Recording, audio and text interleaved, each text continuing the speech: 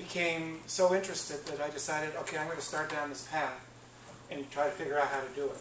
And uh, so what I'm going to do is I'm going to tell you my story of all the things I tried, and I'm going to show you the product that we ended up releasing, and I'm going to show you some examples now that our customers are using it. So there's two kinds of apps.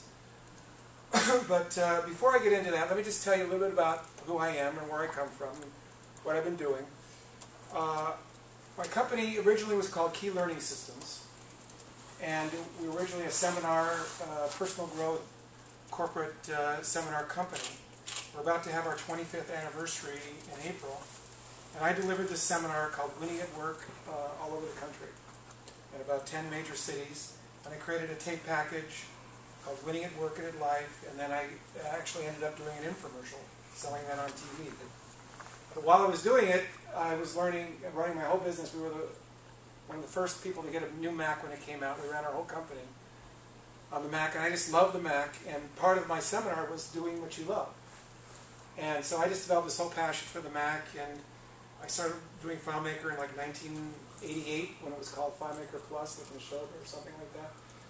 And uh, so on the side, while I was doing all this other stuff, I just was, I had no idea eventually I would, you know, become a FileMaker developer, but I just, people started asking me to do things, and so on the side, I would, you know, do a few databases. And so eventually, when uh, I got tired of traveling all over the country all the time, I decided that, uh, and the internet was just starting at that point, um, I would, you know, create a new career, and I became a FileMaker developer. And uh, one of my first clients was Disney, which was sort of a way to break in, and then Amgen locally here was my next big client. And so I did a lot of different things for them.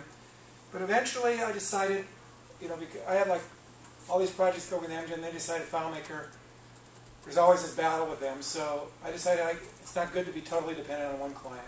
What I needed to do is create a product. So I developed this idea for a business system, and I started uh, taking all my custom jobs and compiling it into creating a product. And it's called the KiBiz system. And now I have clients all over the world, and we have uh, different markets. We were with distributors and wholesalers. We have a retail program called Keypoint. We have a manufacturing program. We have equipment and rental, and we have professional services. And a few other things, but these are these are our main markets that we're in. So that's just, just a brief background, but and I'll be showing that a little bit more when I get into my next session, which is called module design. But for right now, I just want to share this uh, mobile app with you because I'm pretty jazzed about it. So there's two things to understand with mobile apps. One, especially with the iPhone, is there's native apps and there's web apps a native app, uh, particularly with the iPhone, has, uh, you know, BlackBerry has them, Droid has them. Now, all, all these phones, these smartphones now are coming out with apps. But it's not that easy to take your iPhone app and put it on the BlackBerry because they, are based in different codes. Uh, iPhones are the apps are developed in what's called Objective C, whereas uh, BlackBerry is more of a Java-based uh, program. I don't, Droid, I don't know exactly what that is. But, you know, the problem is each of these phones, I'm getting into the disadvantages before I even said the advantages, I'm sorry. Let me start with the advantages. The advantages of a native app is that you can use a lot of the features like the GPS, uh, the Google Maps, the camera, the barcode scanning. All these features are available to you when you do a native app. Um, the other next big advantage is that there's a it's a it's a really a game changer. You have immediately your one little app has a worldwide audience. So um, you know people go and they're searching for that thing, and they make you know you just put your keywords in just like any web search. They find your app or other apps. They have related apps, and before you know it, people find you, and you know you have people downloading it from all over the world. So to me, that's one of the most exciting things as a developer is having such an easy distribution channel. That Apple has done incredible service by providing that. And you know the other uh, uh, phones you know are, are trying to catch up to Apple. The disadvantages I already said, you need to build a different app for each phone. Uh, you need to sync data uh, with a, uh, an actual native app.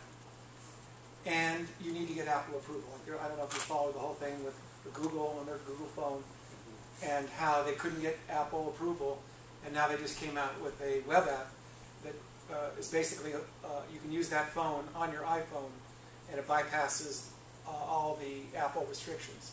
And it's, you know, so that's like a big breakthrough that they've done it in HTML5. So a web app is something that uh, my clients like and I like because it has the ability to show up on any web browser, whether it's a web browser on your computer or a web browser on the uh, mobile device.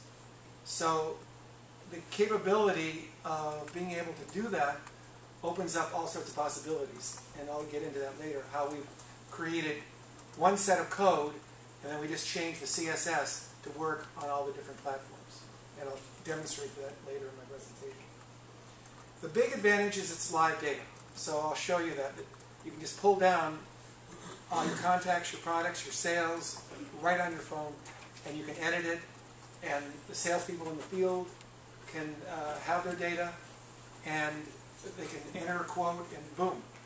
Um, there's no separation. So, and then the other advantage I already said it works on the desktop browser. And the other advantage is there's no distribution fee. When you do a iPhone app, you have to pay 30% to Apple um, for, you know, it comes off the top. So if you're splitting, your app is like $2.99 and 30% goes to Apple, you have to sell a lot. To, but a web app, like I'm selling my web app now, you know, for almost $1,000. So, you know, Apple's not going to get any of that. But, you know, there's a lot that I do for the web app to get it to work. I'll explain that later. So the disadvantages of the web app is it doesn't have access to the features such as the GPS and the camera. One of, and so you know that's one of the downsides. And obviously the other disadvantage is that you don't have a distribution channel with Apple. So how we started with this is I started by using the PHP Site Assistant. I had gone to several DevCon presentations and seeing what it could do, and said that, that's interesting. And then you know I would try to play with it occasionally, but I was so busy. But I decided one day to sit down and really look at this PHP Site Assistant. And it's actually quite impressive what it can do and how fast it works and what it's capable of. And they do have an iPhone theme. They have all these different themes. And one of the themes is uh, iPhone. And it's pretty easy to use. So I don't know if this is clear, but you know they have so you can take the same code and they can create a website for you, or they can create an iPhone application for you. And it works pretty easily and fast. You just basically choose your databases up here that are on your server. You activate your PHP engine on your FileMaker server. You don't need Server Advanced for this. That's another big plus of it.